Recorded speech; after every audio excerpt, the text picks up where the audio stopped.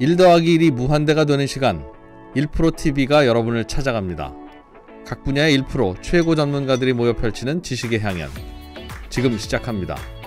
1프로TV 꼭 구독해주세요.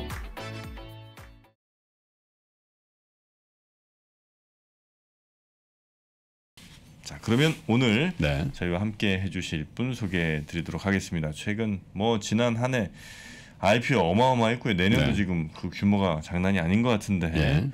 우리 시장엔 어떤 영향을 줄지 미래에셋증권의 조인직 상무님과 함께 이야기 나누겠습니다. 어서 오십시오. 어서 오세요. 안녕하십니까. 네 반갑습니다. 네, 음. 아, 자켓이 아주 멋지십니다. 아 예. 네. 음. 자 일단 뭐 확실히 큰 회사 임원님이라 틀리시네. 아 그래요? 찰지잖아. 아이, 아이. 옷이 아 이거 할머니 카디건. 그러니까. 자 우리 조인직 상무님과 함께 이제 IPO 어, 2000, I- 2021년도 정리를 한번 해보고 올해. 2022년 음. 한번 전망을 한번 해보죠. 이것 때문에 사실 주가 안 올랐다는 분들도 많거든요. 그러니까요. 네. 네. 네 맞습니다. 그래서 그 올해 이제 전체 글로벌 시장으로 보면 한국 주식 시장이 뭐 한 2.1% 2.5% 이렇게 차지를 하고 있거든요. IPO? 전체, 아니요 자본 시장 아, 전- 전체 전체적, 예, 유통 예. 시장 다 합쳐서.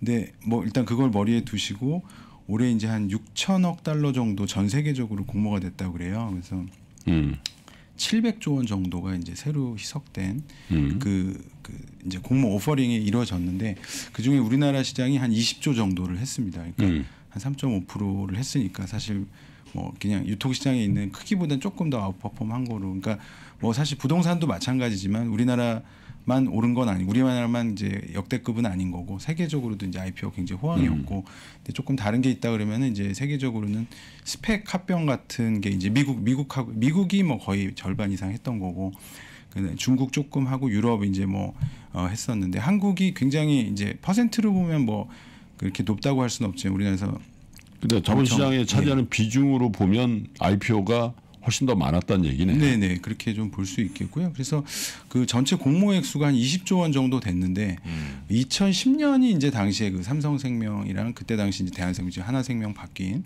그 공모가 되면서 10조 한 천억 정도로 공모를 했었는데 음. 우리나라 자본시장에서 이제 수요 예측해서 IPO 했던 한 4반 25년 정도 반출을 해봤을 때 그때 빼고 이제 두 배로 가장 높았던 음, 역대급의 장세였습니다. 예. 음, 그렇군요. 2020 20년 21년, 예, 그래서 21년이 개수로는 이제 한 110개 정도 올해 12월에도 이제 한 3, 4개 정도 예정이 돼 있는데 네. 한 110개. 근데 개수는 뭐 최근 4, 5년 동안 계속 한 100개 정도 했었어요. 근데 이제 그게 거의 코스닥에서 이제 공모 한 2, 300개 하는 게 많았다고 치면 코스피 상장 같은 경우는 사실은 뭐 그 1년에 그 신규 상장 제대로 하는 건 한 개, 두 개 한 적도 꽤 있었거든요. 근데 음. 올해는 20개 이렇게 했습니다. 코스피에만 예, 코스피에만 20개를 해서 오. 이전 상장이 대부분 아니었어요. 그 전에는.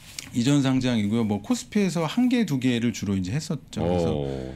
이제 저희 우스갯소리도 이제 그 거래소에서 이제 전에 코스닥 그 상장 본부장님 하시던 분이 코스피 본부장님 가셔가지고 음. 그 전에도 코스닥 일이 많은데 이번에도 코스피로 또 되게 일을 몰고 가셨다 음. 이런 용담을 그분이 땡긴 거 있습니다. 아니에요? 근데 워낙 이제. 사이즈가 차이가 많이 나니까요. 그 음. 여기서 이제 좀 느낄 수 있는 게 저희가 어 예전에는 이제 코스닥 그 이제 어 뭐 이명박 박근혜 정부 때부터 벤처 금융을 워낙 이제 투자를 많이 했었지 않습니까? 모태 펀드, 정책 자금, 성장금 이런 게 내려오면서 그거에 대한 이제 엑시 수요가 이제 코스닥에서 굉장히 많았다고 치면은 작년, 재작년 이제 올해 뭐 내년까지도 이렇게 보여지지만 대기업이 이 예전에는 이제 PF 한 4, 5년 전, 10, 10여 년 전부터 계속 그런 걸 가지고 음. 구조 조정이나 이런 걸 많이 했다 그러면 아, 다양한 분할 방식을 통해서 우리 음. 3프로에서도 많이 나왔던 걸로 기억하는데 분할을 통해서 어, 떼놓고 알짜 사업들을 또 공모 시장을 통해서 조달하는 이런 방식에 음. 많이 좀 그 관심들을 기울이셔가지고 그런 대기업들 위주의 사실 IPO가 많았다 이렇게 예를 들면. SK 그룹 이런 데 제일 활발했죠. 예, SK가 말씀하신 대로 가장 이제 활발했고 이번에 이제 뭐 SK 스퀘어가 이제 또 분할돼서 다시 상장이 되면 그 밑에도 이제 뭐 SK 쉴더스라든지 뭐그 그 11번가 뭐 이런 것도 이제 비상장사들이 많기 때문에 그런 게 이제 지분 가치만 해도 한 20몇 조 된다고 그래요. 그래서 지금 말씀하신 예, SK 예. 텔레콤 말씀하시는 거죠? 텔레콤에서 이제 ICT 분, 부문을 또 분할을 했습니다. 그게 스퀘어죠. 예, 예. 그래서 이제 그런 쪽도 내년에 음. 뭐 거기도 이제 그러면 제2의 카카오 되는 거 아니냐 이런 분들 말씀도 있는 것 같고요. 음. 아무튼 그 대기업 분들이 굉장히 이 공모 시장에서 많이 활발하게 움직이고 계시다 이렇게 볼 수 있습니다. 음. 이게- 현대중공업도 예. 있었고 음, 현대중공 예. 어. 이게 이렇게 계속 갈 수가 있습니까? 이게 어쨌든 주식 투자하는 사람들 돈이 한계가 있을 거 아니에요. 새로 계속 돈을 집어넣을 수는 없잖아요. 네네. 이렇게 계속 해도 괜찮습니까? 네, 그래서 저희도 맨날 그, 그, 그런가 했는데 단위가 좀 달라진 것 같아요. 어쨌거나 그 예전에 뭐 지금 고객예탁금도 계속 68조 뭐 그 정도 한다고 음. 하는데 그것도 한 두 배 정도 늘은 거고 재작년 뭐 이런 게 비교하면 저희가 네. 그냥 편하게 알기 쉽게 그 지점이나 뭐 그 하이네월스 고객분들 자산 규모 이런 것도 글쎄요 그 뭐 한 10년 15년 전만 해도 뭐 100억 몇백억대 자산가로 사실은 굉장히 그런 거를 따지다가 음. 이런 게 갑자기 천억 뭐 조단이 이렇게까지 늘어나지 않습니까? 그래서 돈의 단위가 자본이 굴리는 그러니까요. 예, 예. 좀 커진 것 같다 이런 생각은 들고요. 근데 다만 이제 올해 그 20조를 했는데 극단적으로 사실 한 40조까지 되는 거 아니냐는 예측이 있었거든요. 음. 왜냐하면 LG 에너지 솔루션이라는 그 그렇죠. 그 배터리 그게 하나가 지금 한 12조 원은 땡길 거, 예, 저 공모할 거로 예상이 되는데 그게 이제 내년으로 이연이 됐기 때문에 조금 이제 그, 고- 그 공모 기관, 아저 기관 투자자들의 자금 스케줄이나 이런 거는 좀 어, smoothing이 되지 않겠느냐 일단 보고 있습니다. 음. 예. LG 에너지 솔루션이 12조밖에 안 땡겨요? 어, 그러니까 이제 제가 말씀드렸다시피 이제 1년에 10조가 역, 역대 최고로 한 거거든요. 1년치 보통 하는 거를 아. 그 평균적으로는 한 5조, 6조가 기, 19년만 해도 그랬거든요. 네네. 그러니까 12조가 공모 금액 기준. 예, 공모 금액이 그러니까 이제 전체 시총은 뭐 대충 한, 한 100조 가까이 된다면서요. 네 네 그러니까 뭐한 그중에- 70조 뭐 이렇게 네, 그럼 이제 그 중에 네. 한 10몇 프로 이 정도 이제 내놓는다는 뭐 거죠? 그러, 그렇게 될 것 같습니다. 어. 예. 음. 그러면 네. 적어요 그게? 아니 이제 저도 또 LG 엔솔에 아픈 추억이 또 있지 않습니까? 음. LG 화학. 음. 그래서 아 여기 좀 잘 됐으면 하는 그냥 떠난 친구 잘 됐으면 하는 마음이 있긴 있어요. 있긴 있나? 네. 떠났는데. 사실 좀 없어요. 네. 그 근데 이제 그 이렇게 이렇게 IPO 시장이 활성화된 개인의 증시 참여라는 부분도 있지만 제도적으로 좀 그 바뀐 것들 좀 많이 있잖아요. 그러니까 사실 제도적으로 개인의 증시 참여를 조금 더 부양한 측면이 있고요. 제도적으로. 그러니까 음. 전 올해 이제 많이 말씀이 나왔지만 이제 균등 배정 방식이라는 그러니까 공모를 전체 100으로 했을 때 예전에는 이제 기관 투자자들한테 60%를 의무적으로 배정하고 뭐 우리 사주의 20%를 또 배정하고 나머지 20, 그 나머지의 20%를 개인 투자자한테 배정할 수 있다 이렇게 돼 있었는데 이제는 그 우리 사주에서 실권난 부분에서도 많이 가져올 수가 있고 기관 쪽에서도 60%를 좀 줄였습니다. 거기 나 그래서 이론적으로는 개인 투자자들이 한 3할 30% 정도를 갖고 갈 수 있게 이제 해놓은 거고 음. 그 다음에 이제 그 말씀하신 대로 이 비례 배정이라는 거는 이제 쉽게 얘기해서 돈이 많은 분들이 많은 증거금을 걸면 음. 많이 청약해서 받아갈 수 있는 굉장히 뭐 자본주의적 미국적으로 이제 했다 그러면 조금 정치적으로 바뀐 거죠 사실 전 세계에 없는 유일한 장치로 이제 절반 정도는 그냥 손 들고 원하면 열심히 그냥 신청만 하면은 우리나라가 최 최초이자 유일합니까? 뭐 일단 제가 파악하기로는 뭐 이렇게 때에 따라서 일본 같은 데서 이렇게 좀 한 적은 있는 걸로는 알지만 국민주 형식 뭐 제가 깊게는 못 들어가 봤습니다. 아마, 아마 최초이자 최, 어, 최대일 걸로 제 예상은 되고요. 그래서 그런 걸로 하다 보니까 말씀대로 아까 사실은 이제 그 현대중공업 같으면 저희가 제가 저희 팀에서 직접 상장을 했습니다만 그게 사실은 이제 B2B고 예. 음. 그래서 또 그렇게까지 관심이 있으실까 했는데 뭐 몇백만 명이 또 오셨었고요. 그, 그 전에 예전에 뭐 정말 인기 많았던 제일 모직이나 2014년, 15년 이런 거 할때그 몇십만 명이 한 15만 명인가 이 들어오셨다 그래서 발행 때 개인 분들이 야 이거 그때 여의도에 이 통장 가지신 분들 다 들어오는 거 아니냐 저희끼리 농담하고 그랬었는데 지금 뭐 100만 명, 200만 명이 돼서 이게 굉장히 좀 공적 영역으로 됐어요. 그래서 뭐 청원, 청원에도 올라가고 뭐 부동산 분양만큼은 아직 아닐 것 같긴 한데 공모 주식이라는 그 이게 굉장히 가치가 예- 굉장히 공적인 영역이 돼서 뭐 저희 뭐 따로 금융이나 이런 데서도 굉장히 관심 많이 가지고 자본시장 제도과에서도 뭐 굉장히 모니터하고 히- 금융투자협회에서도 저희 증권사 또 불러가지고 많이 또 이렇게 논의도 하고 그러는 걸 보면 요즘에 이런 IPO 시장 자체가 저변이 정말 많이 확대됐다 이렇게 볼수 음. 있겠습니다. 근데 그렇게 예를 들어 어, 같이 이게 나눠주는 지금의 이 방식이 개인 투자자들에겐 확실히 도움되는 건 맞는 거예요?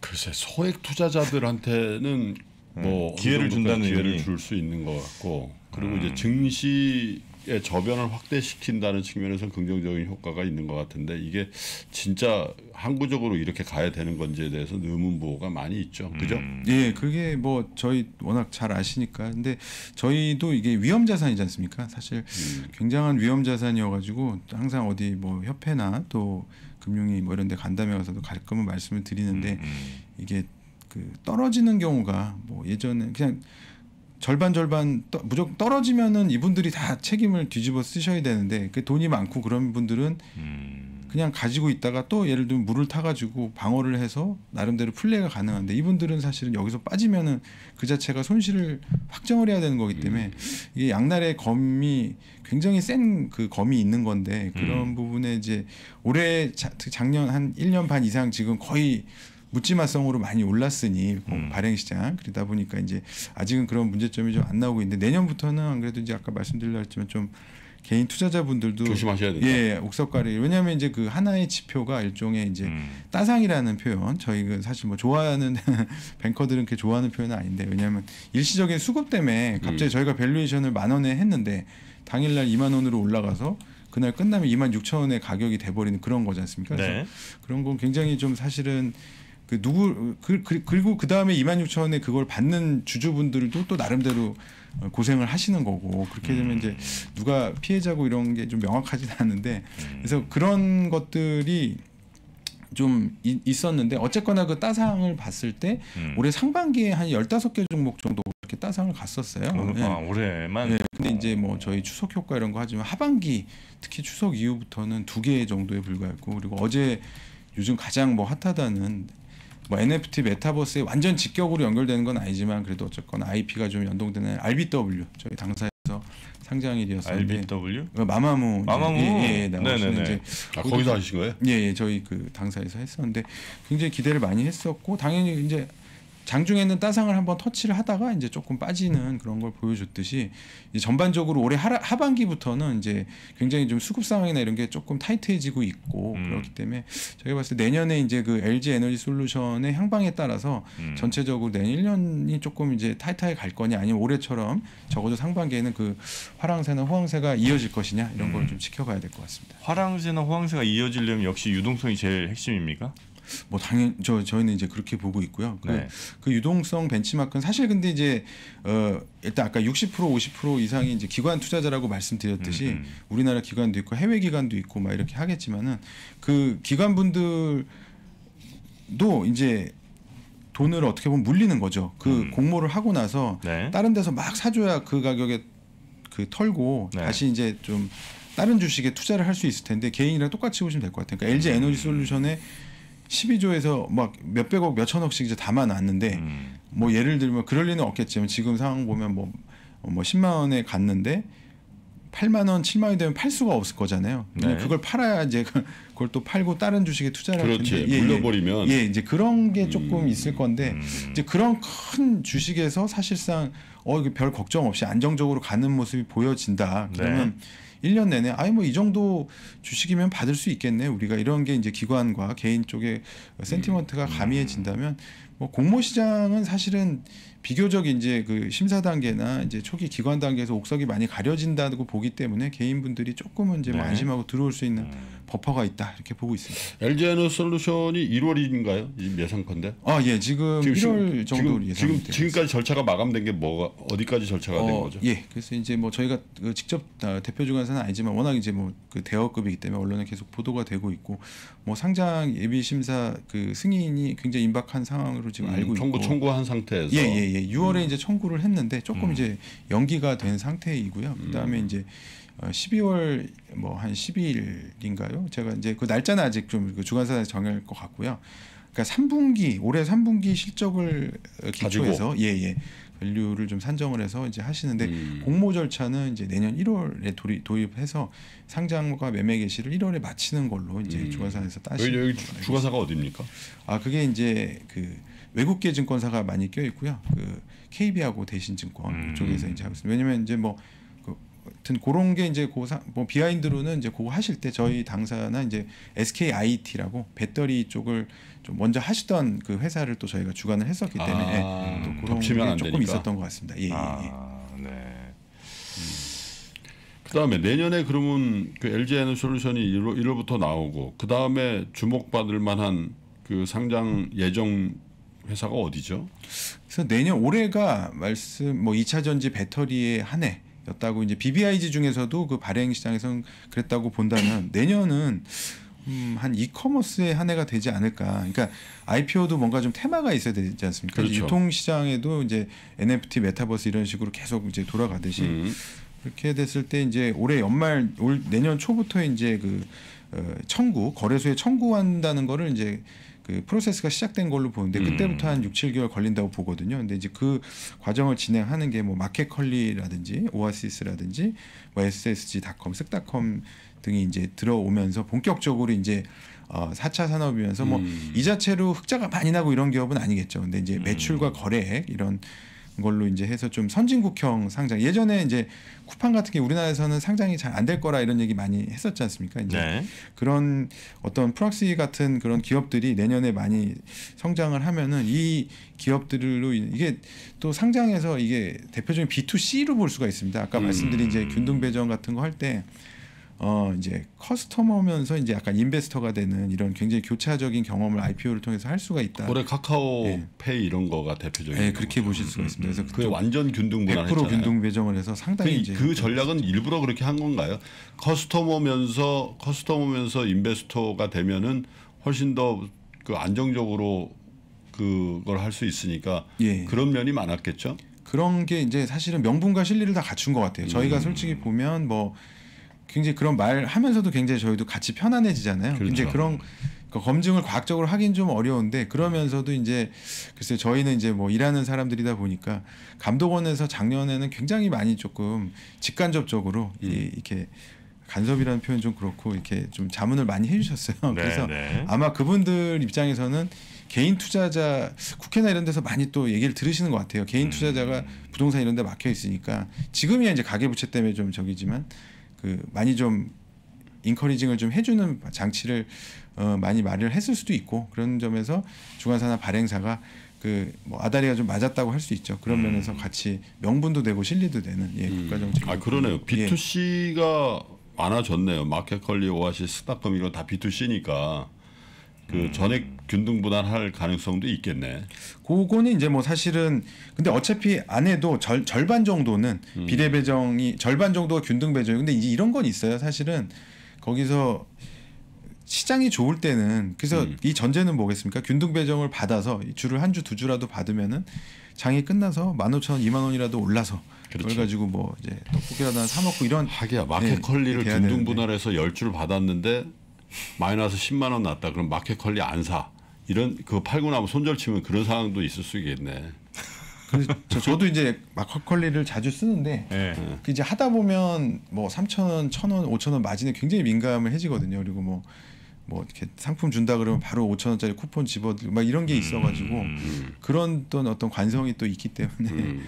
예, 주식 이렇게 해서 많이 떨어지면 좀 로열티에 좀 반대되는 영향도 있겠죠. 그렇게 예, 예. 컬리 같은 데는 코스피예요, 바로? 아니면 코스닥가요? 아직 코스닥이죠. 모르나? 아직 예, 요거는 뭐 아직 그 전략을 따져서 이렇게 네. 하실 것 같습니다. 이게 뭐뭐 나스닥 간다는 건 이제 아닌가 보죠. 어, 예. 이제 그거는 확실히 가닥을 잡고 이렇게 음. 한, 한 걸로 보이고 나스닥이 뭐 작년에 쿠팡 이후로 많이들 좀 다시 한번 2000년대 음. 버블 그 닷컴 버블 때 이후로 또한번 다시 음. 그 스터디들을 좀 업계에서도 하신 것 같은데 네. 결국은 이제 법제도가 굉장히 좀 다르기 때문에 음. 그 소송의 위험 이런 게 굉장히 많고 음. 상장 그 유지 비용이라는 게 상장 유지 비용이 네, 눈에 안 드는 게 저희는 사실은 거의 미니멀하다고 보면 돼요. 뭐 그 거래소에 내는 유지 비용이라는 것도 있고 저희는 사실은 공시를 안 하면 일단은 뭔가 좀 레귤레이션에 대한 부담이 가장 크거든요. 그 음.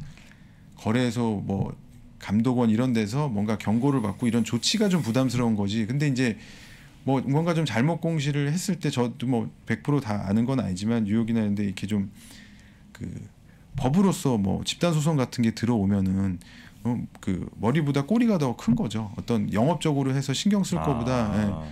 아. 그러니까 그런 예. 상장을 유지하는 데 드는 비용이 생각보다 굉장히 많이 들 수 있다. 어, 직간접적으로. 그렇겠네. 예. 그리고 어, 여기가 변호사 한번 사야 되면 뭐또 돈 그래서 그 쿠팡 같은 경우는 아마 그 이사 의장님도 그 미국인스러우신 게 아니라 미국인이시잖아요. 예를 들면 그리고 음. 이제 거기 대표 이사님도 그 아마 강한승 변호사님이라고 김앤장에서 이제 굉장히 영어 잘하시고 그냥 뭐 괜- 미국에 굉장히 능통하신 그렇게 돼 있고 뭐 그런 걸로 알고 있습니다. 안 예. 되겠다.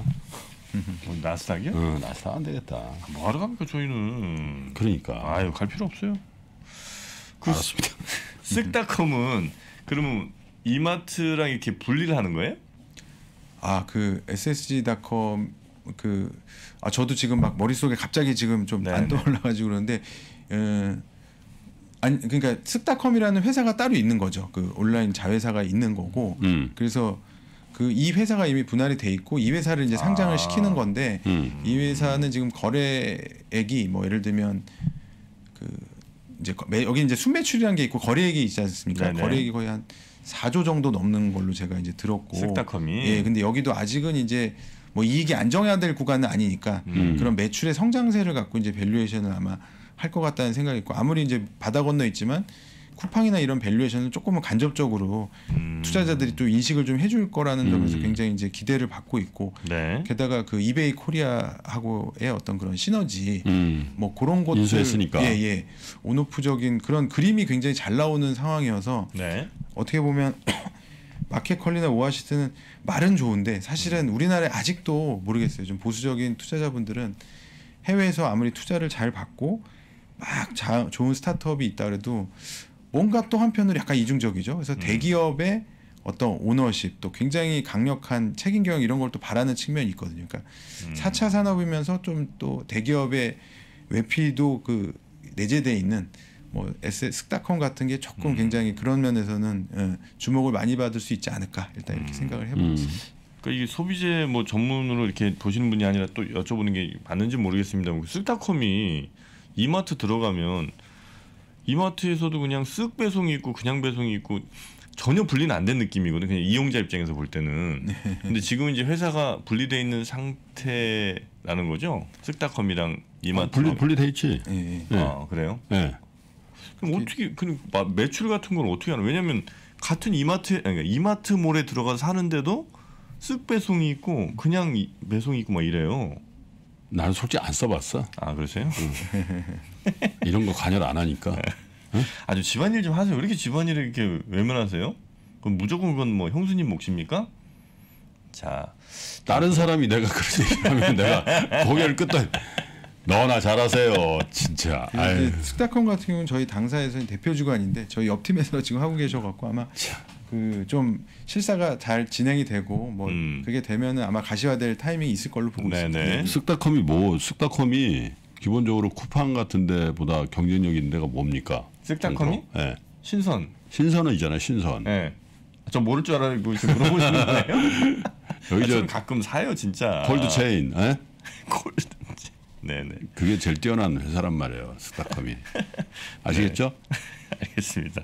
자 그- 그리고 또 어, 어떤 IPO들 혹시 뭐 주목할 만한 IPO들 뭐 있을까요 내년에? 어 그래서 일단 내년이 뭐 사실 발행 시장이지만 유통 시장이랑 굉장히 연결이 또 돼 있는 거지 않습니까? 발행이 되면 바로 이제 유통이니까 그래서 유통 시장 트렌드를 좀 따라간다고 봤을 때 저희 당사에서는 사실은 그 내년도 뭐 지수 예측을 좀 하, 하지는 않고 있는데 제가 뭐 며칠 전에 신문에 보니까 대개 한 2,800에서 3,400 정도 예상을 하시더라고요. 이제 그런 걸 보면 아주 엄청나게 뭔가 작년 재작년처럼 성장주가 막 나오고 이러기는 좀 쉽지 않을 것 같아서 네. 그렇다 보면 항상 이제 하는 얘기가 뭐 배당주 뭐 이런 거 많이 말씀을 하시는데 음. 그래서 그런 게 시장이 굉장히 먼저 아시더라고요. 그래서 네. 리츠를 저희도 엊그저께 바로 이제 어제 이제 끝났죠. 청약하고 배정이 그 개인 배정까지 끝난 저희 미래에셋 글로벌 리츠라는 걸 저희 팀에서 이제 음. 했었는데 거기서도 역대 최대로 이제 뭐 경쟁률이 나왔습니다. 리츠 경쟁률만 보면 뭐 기관도 한 1,100대 1 나왔고 음흠. 개인도 한 750대 1 나왔는데 네. 이게 뭐 그 기초 자산이 미국의 이제 그 페덱스의 어떤 물류 창고, 뭐 음. 아마존 그 물류 창고 이런 것들입니다. 그 네. 임차인들의 그 계속 올라가는 임대료를 이제 좀 어, cash flow로 또 깔고 가는 것이고 근데 이제 배당 수익률 기대 배당 수익률이 한 6.5% 돼요. 음. 그 6.5에서 지금 다른 데는 뭐 7%까지 나오는 것도 있는 걸로 알고 있어서 하반기로 갈수록 리츠가 굉장히 인기를 끌고 있습니다. 저희 뭐 어. 신한 리츠나 NH 올인원 리츠도 경쟁률 계속 높아지고서 네.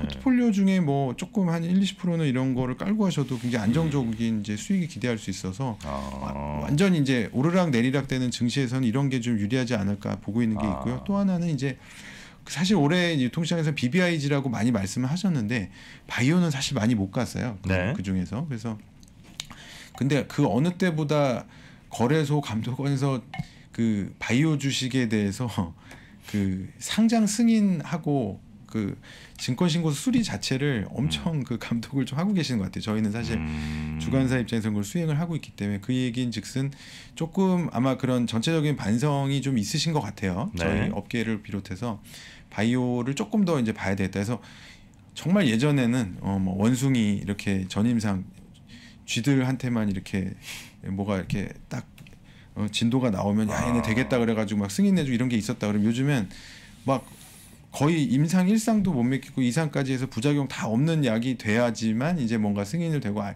그것도 모자라서 음. 사람 그 외국 무슨 유명한 제약사랑 어디 어디랑 무슨 업무 협업이 돼 있는지 음. 뭐 아니면 라이센스하고 진도가 어떤지 이런 거 엄청 따지고 있습니다. 그래서 네. 역설적으로 그런 업체들이 내년에 한 어, 거의 한 20개 되는 것 같아요. 준비하는 게 정말 좋은 바이오 업체들이 바이오 중에 상장 네. 준비하는 회사들이 예, 사실은 이제 주- 밑에는 더 되는데 바이오는 좀 이렇게 굉장히 오래 준비를 합니다. 근데 이제 어. 옛날 같으면 뭐 항암 신약이나 의료 진단 이렇게 딱 그냥 두 개로만 나눴는데 어, 내년에는 뭐 좀 유전자 치료제 뭐 가위 뭐 그 굉장히 좀그 음. 스펙트럼이 다양한 바이오들이 많이 나올 예정이어서 그런 네. 쪽으로도 한번 주목해 보시면 좋지 않을까. 아. 예. valuation 같은 것도 워낙 감, 감독 기관에서 많이 좀 중재를 해주시기 때문에 음. 들어오는 value가 아주 많이 높지는 않을 가능성이 있지 않나 아, 이렇게 보고 그런데 있습니다. 이제 반려한다든지 막 이런 이런 이런 것들이 좀 발생했잖아요, 그죠? 예.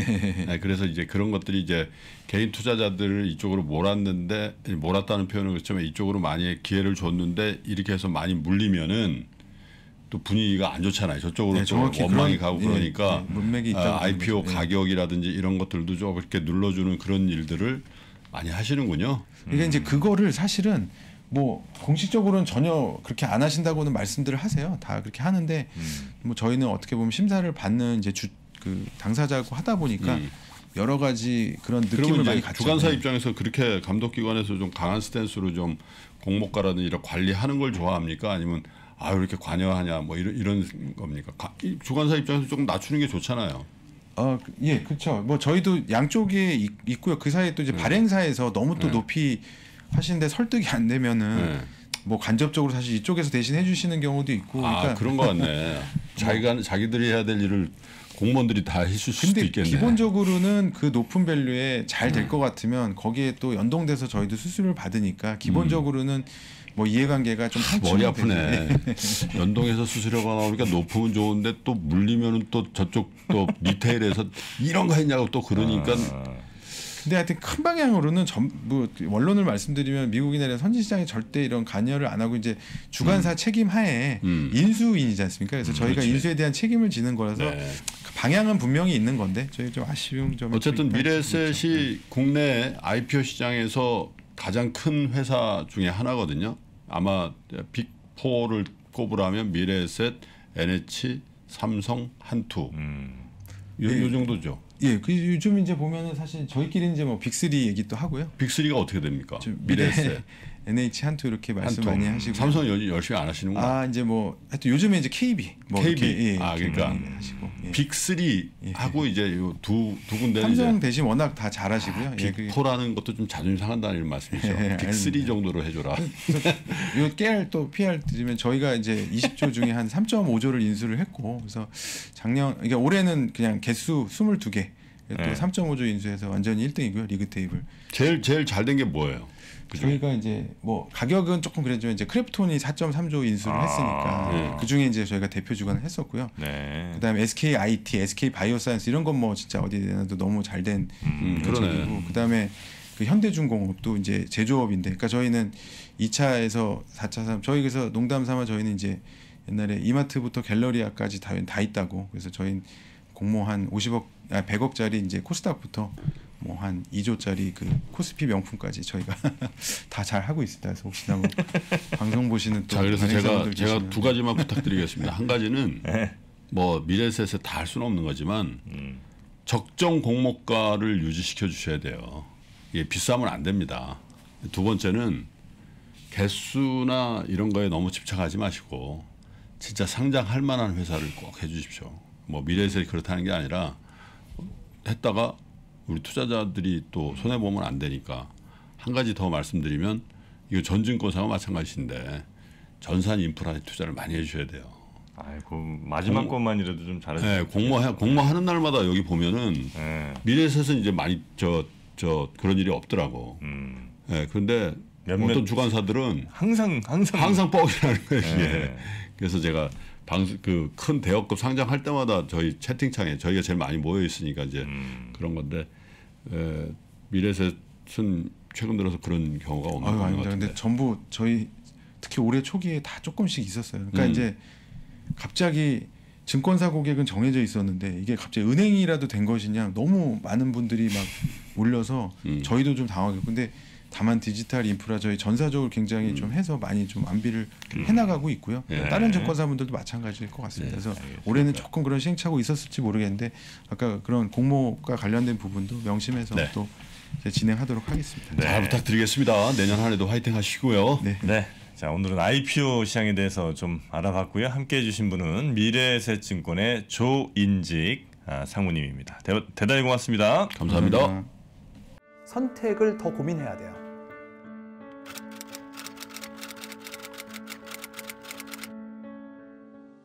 송기룡 부사장의 3프로TV 강의가 출시된 이후에 이렇게 3프로TV 수강생 여러분께 감사하다는 말을 많이 들은 적이 있는가 싶습니다. 앞으로 직업이 바뀔 게 두 가지가 보이는 게 한국 사회에서 공채가 사라질 것 같다. 이거는 사고와 시선, 의사결정의 변화가 요구되는 시점이죠. 송기룡 부사장의 세상을 읽는 방법 그리고 관점을 통해서 다가올 변화에 준비하십시오. 변화를 준비하시고 기회를 잡아보시기를 바랍니다.